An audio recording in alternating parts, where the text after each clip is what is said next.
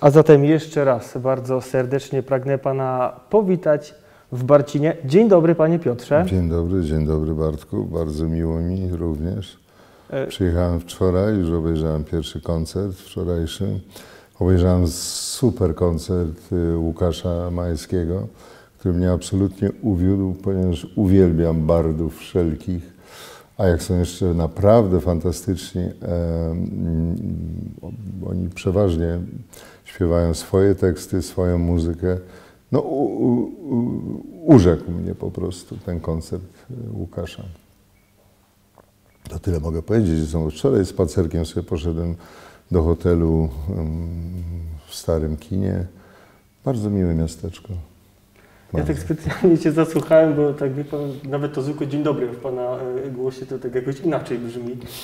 No, tak w ogóle to chyba wykreślę wszystkie pytania, po prostu niech Pan coś po, poopowiada. Nie, nie, Nie, lećmy, się śmieję oczywiście. Aczkolwiek no już na chyba z trzy pytania już odpowiedział Pan Aha. e, z marszu, a ja z marszu e, pragnąłbym jednak zadać Panu nieco inne pytanie. Ile czasu zajął Panu dojazd do nas z Warszawy? Uff, Ze trzy godziny, ponad trzy godziny. Nie, nie zabłądziłem w jednym miejscu. Zabłądziłem, jak skręciłem już za jeden na Inowrocław, bo tak mi pokazał GPS, to potem się coś zagadałem mm, przez telefon i skręciłem. Jakieś 15 kilometrów y, y, pojechałem źle, czyli 30 musiałem jakby nadrobić. Ale mm, bardzo dobrze się tu jedzie. Y, Pewnie nie domyśla się Pan, dlaczego akurat takie pytanie No zadałem na nie. początku. E, W jednym z wywiadów e, przyznał się Pan do tego, że lubi Pan szybką jazdę i to nie tylko samochodem. A czym jeszcze? Ja, y, No, motocyklem. Nie wiem, no motocykl to już jest historia, to, to, to jakby, niech sobie przypomnę, to był 2000 rok, jak sprzedałem a, moją Yamaha Dragstara 650. Miałem takie ambitne plany, no wie pan, to było, mówmy się, 14 lat temu, to już jest kawał czasu. Ponieważ kompletnie zawsze miałem yy, odjazd i odlot y, na temat Harley'a i akurat się pokazał taki Night Train, Harley cały taki czarny, oksydowany, piękny, piękny naprawdę. No i sprzedałem tę Yamaha, chciałem kupić tego Harley'a, ale już go nie kupiłem. Już nie będę nawet opowiadał dlaczego nie.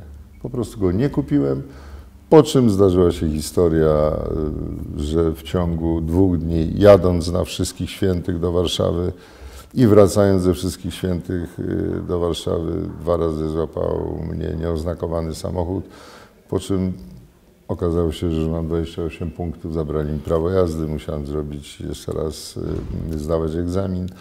Okazuje się, że na motocykl musiałbym też zdawać egzamin, już nie miałem czasu, także ta sytuacja jest już zamknięta. Czy ja lubię szybko jeździć? No. A jak gdzieś mogę, to jadę szybko i się zrzymam okropnie, ponieważ ja oczywiście to jest sytuacja taka, że nam się wydaje, że my jedziemy bezpiecznie. Kiedyś, dawno temu, ja się dziwię, że tej książki nie wznowili. Sobiesław Zasada napisał taką książkę Szybkość bezpieczna. I tam w tej książce wszystko jest, y, co to jest szybkość bezpieczna. To jest taka szybkość, w której dostosowujemy warunki, y, które są na drodze, nasze samopoczucie, możliwości naszego samochodu. ten. Natomiast tam, gdzie y, y, są ograniczenia, to wiadomo, że trzeba tych ograniczeń mm, przestrzegać. Nawet jeśli zdarza się, że wydaje nam się, że kompletnie idiotycznie jest na przykład ograniczenie nie wiem, jest takie miejsce, już teraz y, tamtędy nie jeżdżę, bo jest autostrada, ale taki był odcinek za Poznaniem, jeszcze na tej starej drodze, gdzie na prostej drodze było ograniczenie. Nawet tam nie, ja nie przypominam sobie, żeby tam były jakieś drogi z boku, e, tylko był prosty odcinek, gdzie było ograniczenie do 60 km na godzinę, tak nie wiem, no z półtora, dwa kilometry. Nie wiem dlaczego, widocznie może jakieś prądy podziemne są i się zdarzały tam wypadki, a poza tym faktem jest, że takie miejsca prowokują nas do tego, żeby pocisnąć troszeczkę i, i, i ten. Ale po tych wszystkich doświadczeniach, czyli po odebranym prawie jazdy, po dwukrotnym podchodzeniu do egzaminu, bo mm, za pierwszym razem oczywiście nie zdałem, e, i teraz jakby mm, przeliczając sobie to wszystko, rozumiesz, to tam, gdzie są ograniczenia, ja jadę i schodzę do tych ograniczeń. No może nie tam jak jest 70, to jadę 80. No. Nawet jak jest fotoradar, to oni ustawiają jakąś tolerancję.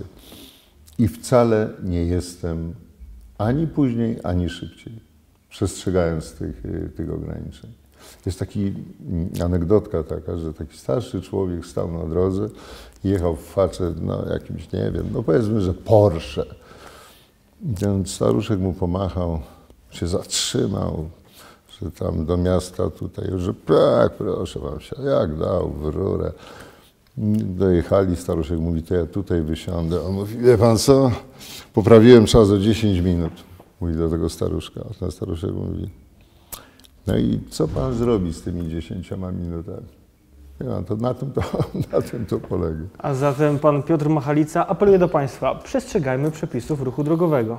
No przynajmniej tych prędkości. No ja już nie mówię o innych jakby przepisach i o, o znakach, no, żeby Rozumiem. mi koleżanka przed chwilą powiedziała, że mm, uniknęła, no, że już dzisiaj byśmy tu się nie, nie, nie, nie spotkali, ponieważ na czerwonym świetle przyjechała kobieta, która mało jej nie urwała, obtarła jej zderzak, a e, w ogóle jej nie widziała.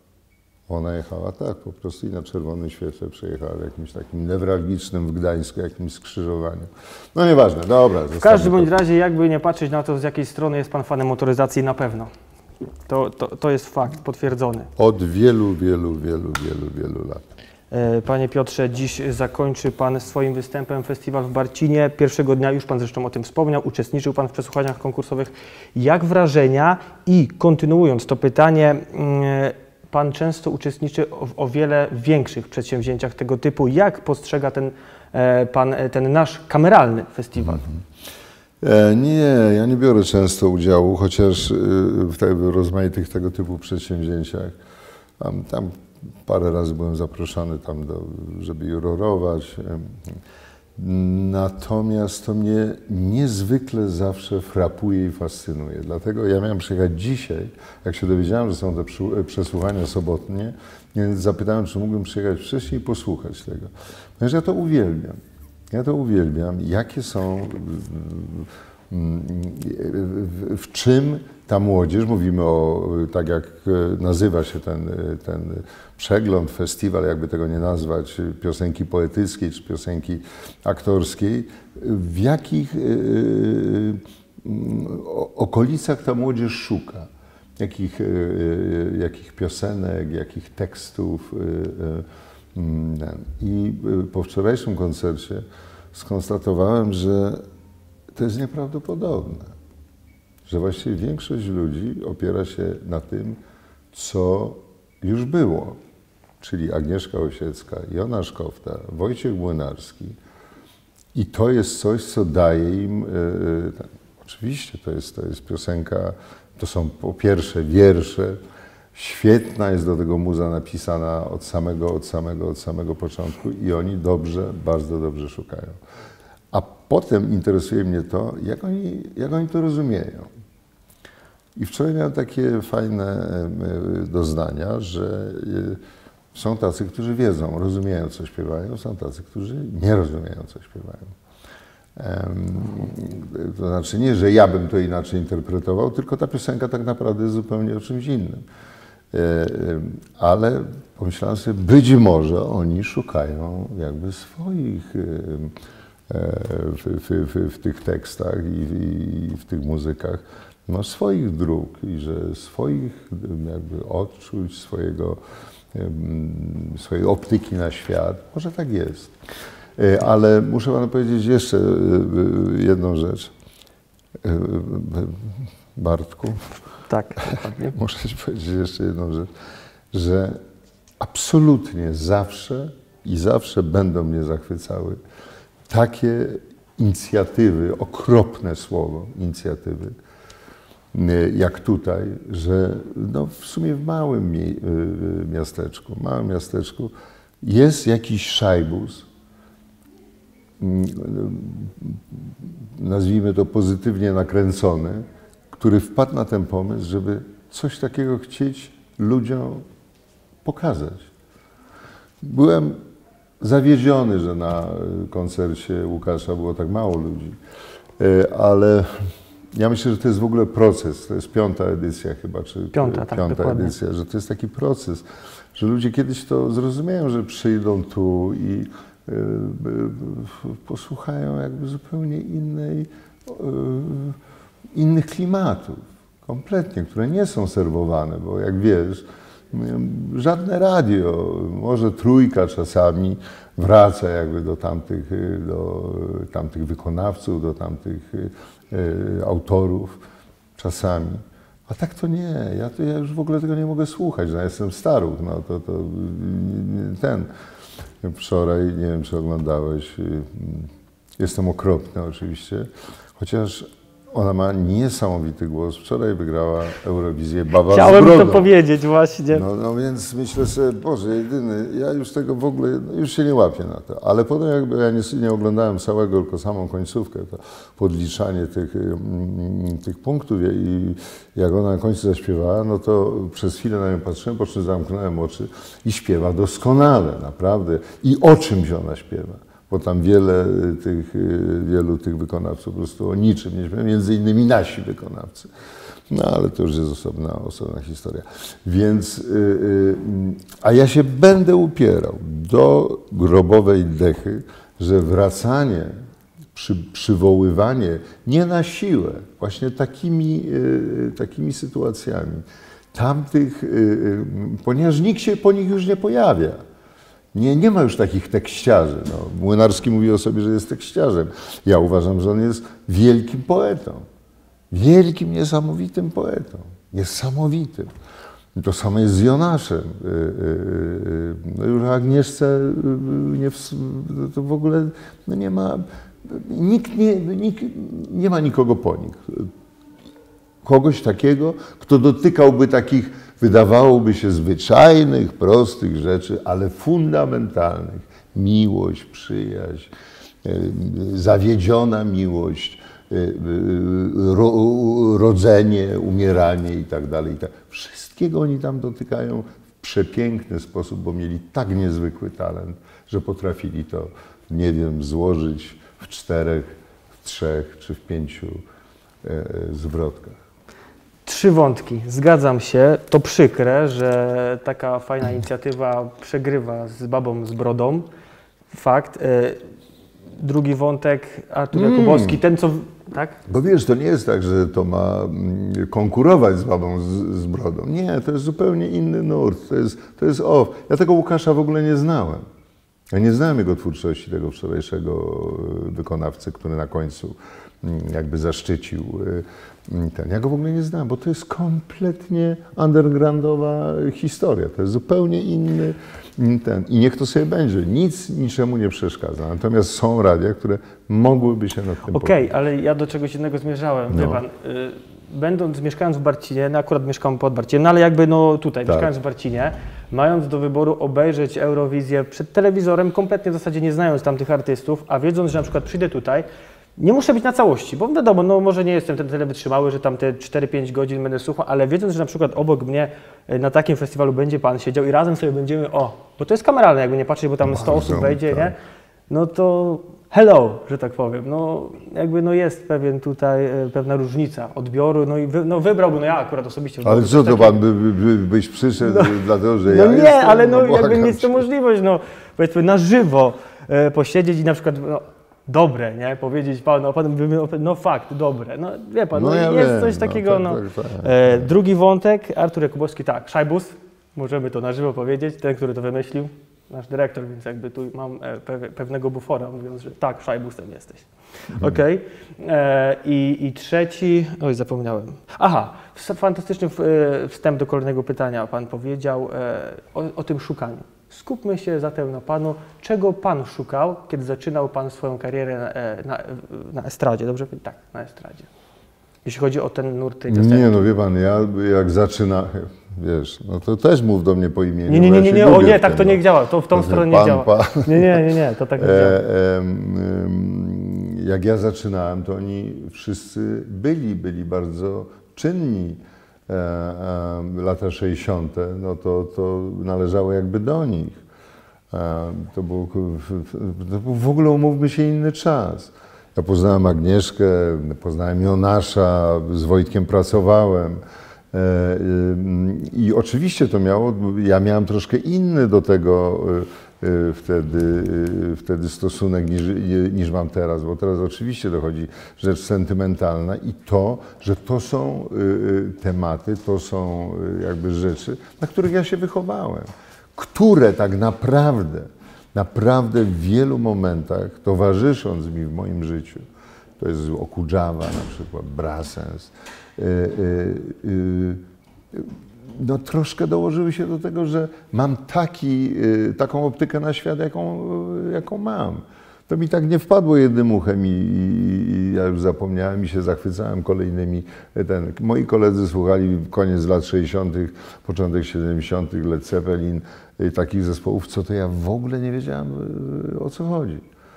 Pierwszą płytę Okurzawy, która wpadła mi w ręce, to był 70 rok dokładnie. E, on nie był wydawany w, w Sowiecji, tylko on ją wydał, nagrał ją w Paryżu i tam ją, e, tam ją wydał. Ktoś ją przywiózł stamtąd.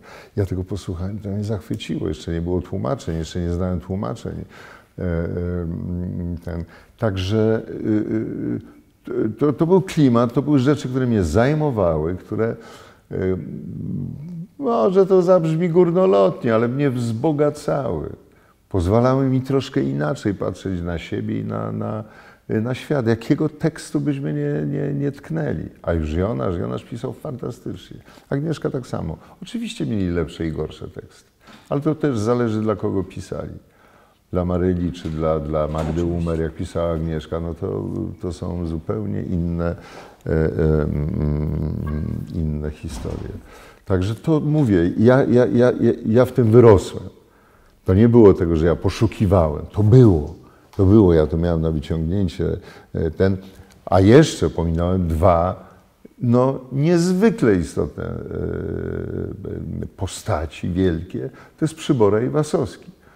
Mm, kiedy w 90 roku zadzwoniła Magda, że robi koncert na, na galowy koncert na zakończenie przeglądu piosenki aktorskiej w Wrocławiu pod tytułem Zimy Żal, w którym będzie występował pan Jeremi, ona i paru moich kolegów, no to ja miałem takie poczucie, że w ogóle złapałem Pana Boga za nogi. To było dla mnie niezwykłe szczęście, dlatego że tych panów słuchałem od 65 roku, miałem wtedy 10 lat. Jak kabaret starszych panów jeszcze funkcjonował bardzo, bardzo w telewizji. A już Jeremi, pan Jeremi, no to jest w ogóle, to jest mistrzostwo świata. To jest mistrzostwo świata. O Wasowskim mówi się, że gdyby się urodził gdzie indziej, czyli nie wiem, w Stanach, to umarłby przebogatym człowiekiem. Bo to były tak wielkie, wielkie e, talenty. Ja się tak, ja nie mówię, że teraz nic. Nie, to nie jest tak, tylko to jest coś, co mnie e, momentami zdarzają się takie rzeczy, które mnie zainteresują. Nawet bywa, że porwą fajne teksty. Kazik, ja mówię nie o ojcach, e, nie o ojcu, nie o starym Staszewskim, tylko mówię o Kaziku, że też na, no, słucham tego i, i, i, i też mnie to zachwyca i uwodzi. Tylko Kazik mi wszedł do głowy, ale jakbym ale zaczął tam to kombinować, fakt, to jeszcze coś znalazł. Z tymi Stanami, to akurat e, mądrze Pan powiedział, zawsze powtarzałem, że Violetta Villas, gdyby została w Stanach, to... No, ale ona nie mogła, no, ponieważ Bóg dał jej wszystko. Nawet do więcej. pewnego czasu Nawet urodę, więcej. głos, wszystko jej rozumu nie dał. No, ale, ale nie jej jednej. No właśnie. Jeszcze moglibyśmy mnożyć. Okej. Okay. E, panie Piotrze, jak wolałby być Pan zapamiętany? Jako aktor teatralny, filmowy, czy właśnie piosenkarz, a może e, tak po prostu Piotr Machalica, artysta? Proszę Pana, ja się w ogóle nad tym nie zastanawiam, drogi Bartku.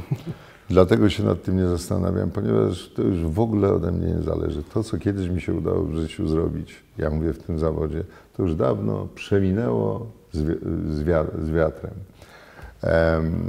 Teraz e, właściwie głównym moim takim zajęciem to jest teatr, który już nie ma takiego przełożenia, jakie miał, nie wiem, w latach 70., 80., nawet w 90. Natomiast to, co e, po mnie ewentualnie zostanie, to wszystko to, co jest zapisane w internecie i proszę Cię, mm, Zajrzyj i poczytaj o mnie, to Czytałem. się wszystkiego Czytam. o mnie dowiesz. Internet wie wszystko. Ale jednym słowem, e, jest Pan wszechstronnie uzdolniony, no tu nie ulega to wątpliwości Co żadnej. to znaczy? Nie tańczę. Ale do czego zmierzam? No, no, no nie wiem, faktycznie tego nie. Ale czego się spodziewać? Ojciec aktor, brat aktor, e, nie rozpatrywał Pan tego w takich kategoriach, że jest Pan genetycznie obciążony? Nie, nie, nie. Myśmy do zawodu trafili, mm, Olek pierwszy, bo Olek y, y, y, jakby... On właśnie odbył bardzo podobną drogę, jak był ojciec. Zaczynał w Bielsku Białej w Teatrze Bania Luka, potem zdał egzamin eksternistyczny, mm, robił to, czego się już w dzisiejszych czasach w ogóle nie robi, a co robił mój ojciec i robili aktorzy z tamtych lat e, że jeździli od miasta do miasta za reżyserami, za dyrektorami. To nie było tak, że jak ludzie już osiedli gdzieś, e, to już się tak uczepili i tak siedzieli 20, 30 e, lat i, i mm, ten. Tak to w, w tej chwili wygląda. Ja nigdy nie miałem jakby takich, y, znaczy nie miałem, no może to było gdzieś w podświadomości, ale do pewnego momentu w ogóle sobie tego nie uświadamiałem. E, I kiedy przyszedł mi taki pomysł, żeby, ale to wszystko było strasznie takie brudne, takie niepoukładane, w ogóle to był czas, y, kiedy ja byłem, no nie chcę powiedzieć niebieskim ptakiem, ale, ale takim człowiekiem kompletnie, Szukającym. no to można to tak, na, żeby szlachetnie zabrzmiało, to można nazwać szukającym. E, I, i e, ja przyznałem do szkoły, jak miałem 22 lata. Dzisiaj to nie jest żadna, e, żadne chocho, tylko że tam był jakby limit wieku w, w tamtych czasach, że do 22 lat. Ja już miałem skończone 22 lata i jak poszedłem na, to się jakoś tak nazywa, konsultacje do szkoły w Warszawie, to powiedzieli, no, żebym złożył papiery, ale tu mam przekroczony limit wieku. No, tak. Krótko mówiąc, dostałem się. I te cztery lata w szkole to było takie oddanie mi tych e, lat, tak mniej więcej od 18 roku życia do tego 22 roku życia, takiej mojej młodości, bo ja byłem najstarszy na roku, wszyscy byli ode mnie młodsi o dwa, mm, o trzy, e, o trzy lata. Miałem już taką wiedzę na temat tego zawodu, że wiedziałem, że wcale nic się nie musi zadziać po tym, jak ja skończę tę szkołę. Wcale nie muszę dostać się do dobrego teatru. Mogę nie dostać szansy zagrać w teatrze, zagrać w telewizji, zagrać w filmie. Bo wiedziałem, że ten zawód tak wygląda, że to, że skończę tę szkołę, to mi się nic nie. to, do, do niczego nie da.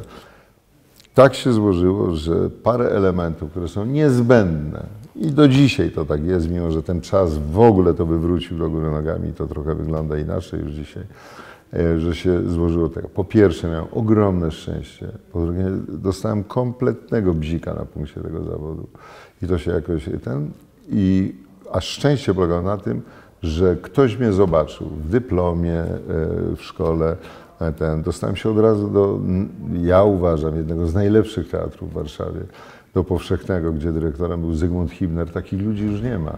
Nie ma takich jak Zygmunt Hibner, jak Gustaw Holubek, e, Akser. Nie ma. To już w ogóle, to już poszło. To, ja wiem, że trudno. Ja, ja, ja nie płaczę, ja, ja tu nie ubolewam, bo po prostu tak to jest, ten czas, który zasuwa. No i wszystko jest zmienne, tak jak mówił mój ojciec w sztuce Cena Artura Millera. Wszystko jest zmienne. Jeszcze tak robił, tak jak starego Żyda grał. E, fantastyczne e, to było.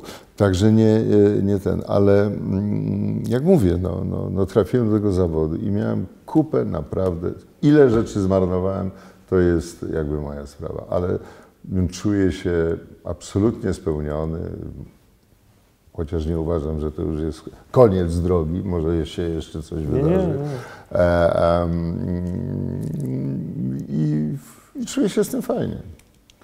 No to teraz na przekór. E, aktor jest dwa razy nieszczęśliwy w życiu, kiedy gra i kiedy nie gra. Nadal tak pan twierdzi? Bo to pana słowo. Ale oczywiście, że tak. Oczywiście. Jakby pan porozmawiał z kolegami, którzy teraz, nie wiem, grają w teatrach, mają zdjęcia w serialach, a jeszcze mają jakieś, nie wiem, hałtury, eventy, to mówią, Jezu, ja już nie mogę, ja już jestem tak zmęczony, to jest do kitu, do dupy, ja już tak nie chcę. Tak, a są tacy, którzy mówią, stary, siedzę, no już to już drugi sezon siedzę i ja w ogóle nic nie gram. Nie? Jeden i drugi jest nieszczęśliwy. No tak to jest e, e, w tym zawodzie. Ja nie wiem, czy to jest tylko tutaj tak, e, no ale nie przypuszczam, żeby, ja już nie mówię o gwiazdach. Zresztą to zupełnie inaczej tam wygląda odwoływanie się za ocean do tego rynku, jaki tam jest aktorski, to jest w ogóle nieporozumienie. To u nas to jest po prostu, to, to jest pianka, to jest przedszkole to, co nas, co nas dopada. Natomiast bardzo, bardzo powoli dociera do ludzi, że to, że na przykład dostają się do szkoły, kończą tę szkołę, albo w ogóle nie kończą szkoły, chodzą na castingi, dostają role w serialach, że to są chwile. To są chwile. I to już powoli dociera do ludzi. To, to, to są chwile.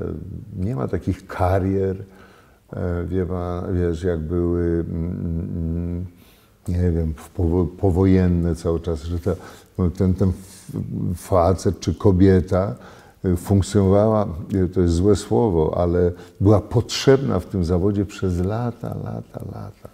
Teraz już tego nie ma. O, fajnie. Panie Piotrze, e, tak się zastanawiałem, jak zadać Panu to kolejne pytanie, żeby e, wiedział Pan, o co mi chodzi. No i zdecydowałem się w ten sposób. Mhm. Czy, po 20, czy po 26 latach myśli Pan, że już przeżyliśmy rewolucję seksualną, Panie Olgierdzie? Bardzo źle trafiłeś, Bartku. W ogóle mnie to nie zajmuje. Mam to w nosie, czy jest rewolucja seksualna. Coś mi trują o gender. Ja nie wiem, o co chodzi. Wrócę do kobiety z brodą. Wszystko to się tak pyrtało. Jaka, jaka rewolucja? Panie, to jest, to, jest, to jest masakra. To jest masakra. Cała ta sfera, uważam ja tak, w ogóle straciła wszystko. Straciła swoją intymność, straciła to, co w tym było najpiękniejsze dla mnie, ale nie tylko, przypuszczam. Czyli bardzo taką y, y, intymną stronę naszego życia. Jeżeli ja wracam wieczorem sobie, siadam przed telewizorem i tak myślę, a jeszcze na chwilę włączę i zapycham po tych programach i co chwilę mi wskakuje jakieś tam zadzwoń do mnie, 508 tego i się masturbuję. Przepraszam bardzo, ale, no, ale tak jest. No, tego jakieś gołe panienki. Tak, I co? I, ktoś mi chce powiedzieć, że w tym momencie, jak jest, nie wiem, okolice 11 i 12 wieczorem, że tego nie oglądają młodzi ludzie? No, Jezus. No i to jest dla nich jakby sfera erotyczna, seksualna. To jest, to jest tragedia. ja już jestem stary, mnie to już w ogóle nie dotyczy. Nie, nie, nie. E, też tak coś kokietuję. Nie, ale nie, nie, bo chciałbym być dobrze zrozumiany, że mm, mm okej, okay, to, co się przez te wszystkie, wszystkie lata jest jakby kompletnie poza moją. Mm, y, Krótko mówiąc, nie odpowiem Ci na to pytanie, bo mnie to w ogóle nie zajmuje. Uważam, że to jest coś, co, co straciło jakikolwiek w ogóle. Ten, jeżeli zdarzy się, że musiałbym też poszukać w pamięci, nie wiem, z ostatnich produkcji filmowych, które widziałem, że, się, e, e, że oglądałem jakąś przepiękną, sensowną, uzasadnioną scenę, nazwijmy to tak erotyczną, miłosną E, e, ten, za chwilę nie będziemy potrafili tego pokazać w ogóle. Już wszystko, przy kinie już wszystko było. No. Ja wrócę. 26 lat temu Sztuka Kochania była odważnym filmem według Pana? Nie, to miał być przede wszystkim śmieszny film. No, mi rodzice nie kazali oglądać, no fakt. Nie, nie... nie, to miał być śmieszny film. On mnie specjalnie na początku w ogóle nie śmieszył. A jak ja to robiłem, to mój syn miał który to był rok, nie pamiętam. Ale on 88. 88, no to miał 7 lat. E, po czym po latach 15 siedzieliśmy razem, coś gadali, grał telewizor i zaczęli powtarzać Sztuka Kochania. Ja ją po tylu, tylu, tylu latach obejrzałem ten, i paru miejscach bardzo mi się podobało. Bardzo mnie bawiła i była bardzo śmieszna. A on ku mojemu wielkiemu zdumieniu mówi, stary, to, to nie jest takie złe, to jest w porządku. To jest, no przepraszam. To jest w porządku. A ja mówię o tym momencie, jak skończyliśmy y, i była premiera i ja nie bardzo jakby nie, jakoś nie mogłem um, nie wiem, może miałem inne poczucie humoru niż Jacek Bromski. Przepraszam, no ale ten film jakby no, już byłem e, starszym młodzieńcem, no, no, nie obejrzałem dla Pana, ale dla Pani Trzepiecińskiej. No. nie, okej. Okay. E, a jeszcze no. krótko tylko zostanę przy tej, jakby, no nie tylko przy tym filmie, ale mm, modne się stały ostatnio e, tak zwane remake'i, nie tylko w, w kinie amerykańskim czy e, zagranicznym, ale też w Polsce, chociażby Och Karol, czy zagrałby Pan jeszcze, gdyby Pana poprosili na przykład? Włoch Karol nie zagrał. Znaczy, no akurat ten film przytoczyłem, bo był, jest remake, ale na przykład, no upieram się przy tej sztuce kochania cały czas, ale gdyby na przykład jakiś z reżyserów znalazł się, że chciałby nakręcić i...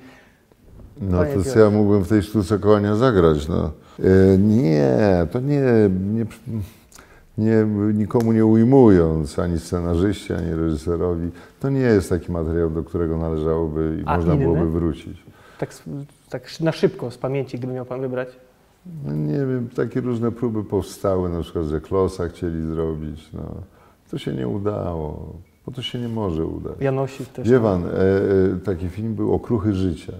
To Francuzi zrobili. I to są lata 70., początek lat 70. I potem Amerykanie zro, zrobili właśnie remake z tego i to się zgadzało. To znaczy, oni to inaczej troszeczkę opowiedzieli, ale to, co w tym filmie było najistotniejszego, najważniejszego, obciążone oczywiście słodyczą amerykańską, bo oni sobie inaczej nie, nie, nie ten, to się te, takie rzeczy się udają. Nie wiem. Bartek, bardzo no, serdecznie dziękuję. Sprawił mi Pan ogromną frajdę. Mam nadzieję, że telewizją również. Bardzo miło mi było rozmawiać z kimś młodym, inteligentnym. Dobra, dobra, okej. Okay. I bardzo dziękuję okay, serdecznie. Ale mówię to poważnie. Ja, to ja dziękuję. Dzięki wielkie. Fajnie. Nikt tego nie wie, tylko ja wiem o tym, jak jest mi miło i, i przyjemnie, że mogę tu dzisiaj z Państwem być. Że mogę, to będzie krótko, że y, mogę podzielić się z Państwem moimi ukochanymi, wspaniałymi piosenkami, wierszami. Um, spodziewam się, że w którymś momencie Państwo podzielicie moje zdanie. E, cóż ja tu dzisiaj będę opowiadał? Będę opowiadał takie rzeczy, które wiele razy w życiu pozwoliły mi a, przeżyć, spojrzeć na to, co się dzieje ze mną, co się dzieje wokół mnie, jakoś tak optymistycznie. Przynosiły mi ulgę, krótko mówiąc. Mimo, że większość tych rzeczy, większość tych wierszy, większość tych piosenek opowiada na przykład o nieudanych miłościach, o przemijaniu, ale to, to jest piękne. Zacznę od y, wiersza Jonasza Kofty, mojego ukochanego poety. Um, I od niego zacznę. Żyją tacy faceci, że my przy nich jak dzieci. Znają życie i mają swój plan. Ech wy ludzie, co żyć potraficie, jak boleśnie zazdroszczę ja wam. Wy pijecie bez kaca, do was przeszłość nie wraca. Niespełnionych nadziei goryczą. Ech wy ludzie, co żyć potraficie, jestem jednym z tych, co wam źle życzą. Przenikliwie jak kornik trudne lekcje historii odrabiacie na parę lat naprzód. Dawno już na tym świecie byłoby tak, jak chcecie. Tylko tacy jak ja wszystko spaprzą. Każdy z Was jest sam w sobie podmiot, przedmiot i obieg.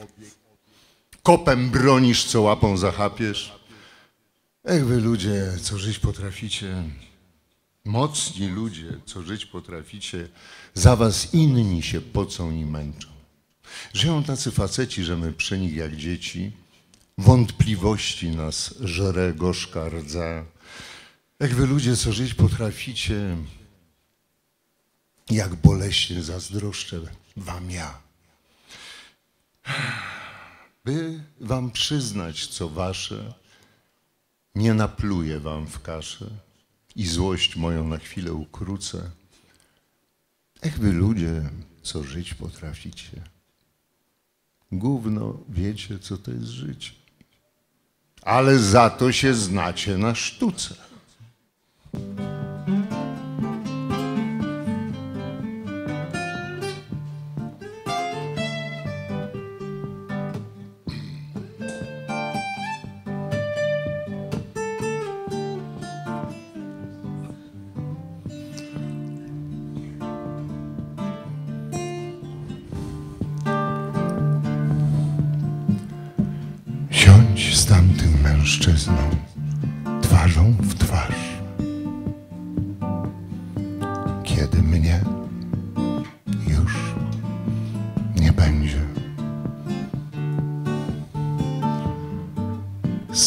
Spalcie w kominie moje buty i płaszcz.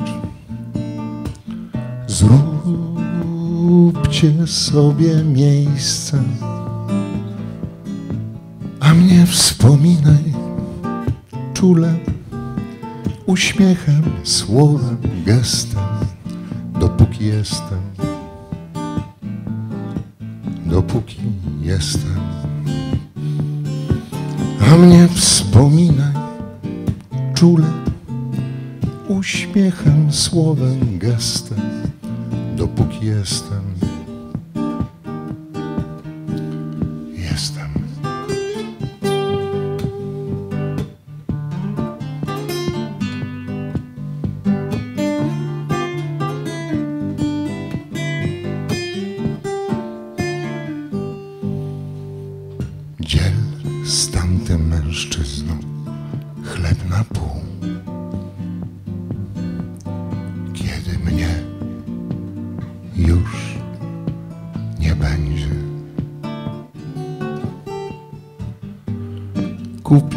Firanki, jakąś lampę i stół. Zróbcie sobie miejsce a mnie wspominaj czule, uśmiechem, słowem, gestem, dopóki jestem, dopóki jestem. A mnie wspominaj czule, uśmiechem, słowem, gestem, dopóki jestem.